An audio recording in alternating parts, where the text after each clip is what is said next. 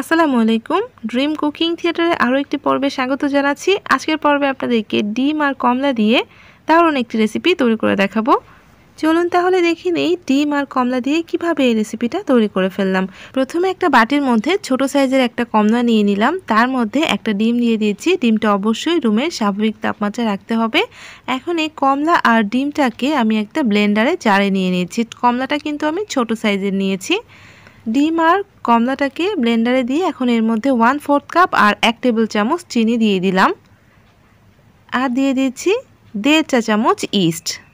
আমি যেহেতু দেড় কাপ ময়দা তৈরি করব, তাই দেড় চা চামচ ইস্ট নিয়েছি আর আধা চা চামচ লবণ দিয়ে দিলাম। দিয়ে দিয়েছি এক টেবিল চামচ সয়াবিন তেল। আপনারা চাইলে এখানে বাটারও ব্যবহার করতে পারেন। এখন এই সব কিছুকে ভালোভাবে ব্লেন্ড করছি যতক্ষণ না চিনিটা ভালোভাবে গুলে যাচ্ছে। চিনিটা খুব ভালোভাবে মিশে যাওয়া পর্যন্ত কিন্তু ব্লেন্ড করে নিতে হবে। আর সব কিছু ভালোভাবে ব্লেন্ড হয়ে গিয়েছে। এখন একটা চালনির মধ্যে আমি ব্যাটারটাকে ঢেলে দিচ্ছি। চামচ দিয়ে ব্যাটারটাকে এভাবে একটু মিক্স করে নিচ্ছি তাহলে নিচের দিকে পড়ে যাবে আর উপরের দিকে যাতে কমলার খোসাগুলো উপরে থেকে যায়। দেখতে পাচ্ছেন, আমি চালনিটা সরিয়ে ফেলছি। এখন এর মধ্যে আমি প্রথমে এক কাপ পরিমাণে ময়দা দিয়ে দিচ্ছি।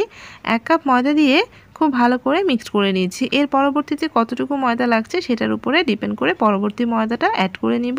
প্রথমে এক কাপ ময়দা দিয়ে ভালোভাবে মিক্সড করে নিয়েছি।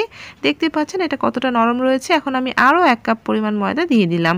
এখন খুব ভালো করে একটা ডো তৈরি করতে হবে। আর ডোটাকে খুব বেশি শক্ত করা যাবে না, একটু নরম করে তৈরি করে নিতে হবে। প্রথমে আমি চামচ দিয়ে ভালোভাবে মিক্সড করে নিয়েছি।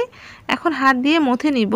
আর ডোটাকে পাউরুটির ডোর মতো তৈরি করতে হবে যাতে নরম হয়। সেভাবে তৈরি করতে হবে। খুব বেশি শক্ত করে তৈরি করে ফেলা যাবে না। নরম রেখে তৈরি করতে হবে। খুব ভালো করে মথে নিয়েছি। যেহেতু চিনির পরিমাণটা অনেক বেশি থাকে তাই প্রচণ্ড পরিমাণে আঠালো থাকে। এই পর্যায়ে আপনারা তেল আর ময়দা অল্প করে ব্যবহার করে ডোটাকে মথে নিতে পারেন। আর ডোটা যতক্ষণ না সফট হচ্ছে, ততক্ষণ পর্যন্ত মথে নিতে হবে। তাই এ পর্যায়ে সামান্য একটু ময়দা ছড়িয়ে দিয়ে মথে নেবেন, তাহলে খুব সহজে ডোটা সফট হয়ে যাবে। প্রয়োজন হলে আপনারা সামান্য করে তেল হাতের মধ্যে লাগিয়ে নিয়েও মথে নিতে পারেন। এতে করে ডোটা খুব দ্রুত সফট হবে আর হাতের মধ্যে খুব একটা লেগেও যাবে না।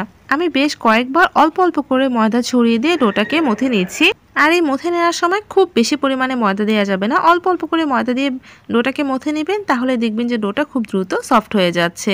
দেখতে পাচ্ছেন, এখন আমি এই পর্যায়ে সামান্য একটু তেল লাগিয়ে দিয়েছি। ডোটা অনেকটা সফট হয়ে গিয়েছে, এখন কিন্তু বেশি একটা হাতে লেগে যাচ্ছে না। দেখতে পাচ্ছেন, ডোটা কতটা সফট হয়েছে, ঠিক এরকম করে ডোটাকে মথে নিতে হবে যাতে আর হাতের মধ্যে লেগে না যায়। এখন পুরো ডোটার গায়ের মধ্যে সামান্য একটু তেল লাগিয়ে নিলাম। পুরো ডোর গায়ের মধ্যে তেলটাকে লাগিয়ে দিতে হবে। যখন ডোটা এরকম সফট হয়ে যাবে, তখন ডোটার গায়ের মধ্যে তেল লাগিয়ে দিয়ে একটা প্লাস্টিক র্যাপ দিয়ে ঢেকে এক ঘণ্টার জন্য গরম জায়গায় রেখে দিব। আপনারা চাইলে ভারী কোনো ঢাকনা দিয়েও ঢেকে রাখতে পারেন, তবে ভিতরে যাতে কোনো বাতাস ঢুকতে না পারে। এখন আমি এক ঘণ্টার জন্য রেখে দিয়েছি। এখানে আমি একটা প্যান নিয়ে নিয়েছি। রাউন্ড শেপের প্যান নিয়েছি। তার মাঝে এরকম একটা স্টিলের গ্লাস বসিয়ে দিলাম। এই ধরনের কিন্তু মোল্ড কিনতে পাওয়া যায়। যাদের কাছে এরকম মোল্ড নেই, তারা আমার মতো এভাবে গোল শেপের মোল্ড নিয়ে তার মাঝে স্টিলের গ্লাসটা বসিয়ে দিবেন। আর আমি ভালোভাবে তেল ব্রাশ করে রেখে দিয়েছি। এদিকে দেখেন এক ঘণ্টা হয়ে গিয়েছে। এই ডোটা কিন্তু খুব বেশি ফুলে যাবে না। অল্প পরিমাণে ফুলবে। যেহেতু এখানে কমলা রস রয়েছে, তাই অনেক বেশি ফুলে যাবে না। এখন আমি বোর্ডের মধ্যে সামান্য একটু ময়দা ছড়িয়ে দিয়ে ডোটাকে গোল করে নিচ্ছি। এখানে আর খুব বেশি মথামথি করা যাবে না, জাস্ট ডোটাকে একটু গোল করে নিতে হবে। এখন আমি এই ডোটা থেকে ছোট ছোট বান তৈরি করে নিব। আর অবশ্যই বোর্ডে একটু ময়দা ছড়িয়ে দিয়ে করবেন। গোল একটা বলের মতো তৈরি করে নিয়ে এখন হাত দিয়ে এভাবে একটু ফ্ল্যাট করে দিচ্ছি। খুব বেশি না, অল্প করে ফ্ল্যাট করে দিলেই হবে। এখন একটা নাইফ দিয়ে কয়েকটা ভাগে ভাগ করে নিচ্ছি। চতুর্দিক থেকে আমি ছোট ছোট করে কেটে নিচ্ছি। এইভাবে আমি ছোট ছোট লেচি তৈরি করে নিয়ে ছোট ছোট বান তৈরি করে নিব। আমি এভাবে কেটে নিয়েছি। আপনারা চাইলে লেচির মতো কেটে নিতে পারেন। এখন একটা ডো নিয়ে এরকম চতুর্দিক থেকে টেনে ছোট্ট একটা বানের মতো তৈরি করে নিচ্ছি। আমি ছোট ছোট বান তৈরি করছি। এভাবে হাতের মধ্যে ঘুরিয়ে নিলে দেখবেন যে সফট বল তৈরি হয়ে যাচ্ছে। আর এভাবে আমি সবগুলো ছোট ছোট বান তৈরি করে নিচ্ছি। একবারই সবগুলো তৈরি করে নিতে হবে। সবগুলো তৈরি করে নিয়েছি। এখন যে প্যানটাতে আমি তেল ব্রাশ করে রেখেছিলাম, মাঝখানে গ্লাসটাকে বসিয়ে দিয়ে, তার মাঝে এভাবে ডোগুলোকে বসিয়ে দিচ্ছি। একটু ক্লোজলি বসিয়ে দিচ্ছি। আর এগুলো কিন্তু অনেক ছোট ছোট করে তৈরি করেছি। আপনারা চাইলে বড় বড় সাইজও তৈরি করতে পারেন। আমার প্যান্টটা যেহেতু একটু বড়, তাই আমি ছোট ছোট করে অনেকগুলো তৈরি করে নিয়েছি। এখন এই গ্লাসটা সহ আমি প্লাস্টিক র্যাপ দিয়ে ঢেকে আধা ঘণ্টা থেকে এক ঘণ্টার মতো একটু গরম জায়গায় রেখে দিয়েছি। এতে করে এগুলো ফুলে কিছুটা বড় হয়ে যাবে। আপনারা কিন্তু এই স্টিলের গ্লাসটার মধ্যেও একটু তেল ব্রাশ করে নেবেন।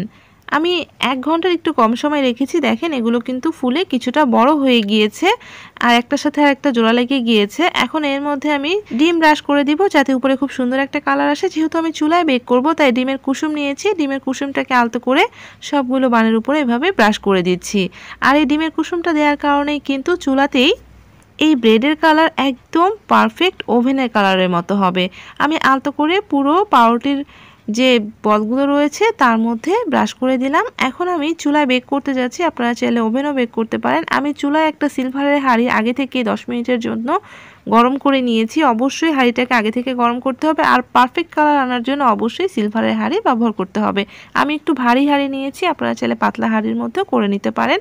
এখন ঢাকনাটা খুলে মোলটাকে বসিয়ে দিচ্ছি। ভিতরে কিন্তু একটা স্ট্যান্ড সহই প্রিহিট করে নিতে হবে। এখন ঢাকনা দিয়ে ঢেকে আমি চল্লিশ থেকে পঁয়তাল্লিশ মিনিটের মতো বেক করে নিচ্ছি। আপনারা চাইলে উপরে একটা টাওয়াল দিতে পারেন যদি আপনাদের ঢাকনাটা পাতলা হয়ে থাকে। আমার ঢাকনাটা যেহেতু অনেকটা ভারী, তাই আমি আর উপরে টাওয়াল দিচ্ছি না। আমি চল্লিশ মিনিটের মতো চুলা লো থেকে বাড়িয়ে দিয়ে বেক করে নিচ্ছি। অবশ্যই চুলা আঁচটাকে আপনারা লো থেকে একটু বাড়িয়ে দিয়ে বেক করে নেবেন। দেখতে পাচ্ছেন চল্লিশ থেকে পঁয়তাল্লিশ মিনিট পরে এর কালারটা ঠিক এরকম হয়েছে। আপনাদের আরও কিছুটা সময় বেশি লাগতে পারে। আবার চাইলে কমও লাগতে পারে তবে চুলার আঁচটাকে একদম লো করে বেক করবেন না, লো থেকে একটু বাড়িয়ে দিয়ে বেক করে নেবেন, তাহলেই এরকম ওভেনের মতো পারফেক্ট কালার আসবে। আর আপনাদের যদি কালারটা না আসে, তাহলে আপনারা আরেকটু সময় বেশি করে বেক করে নেবেন।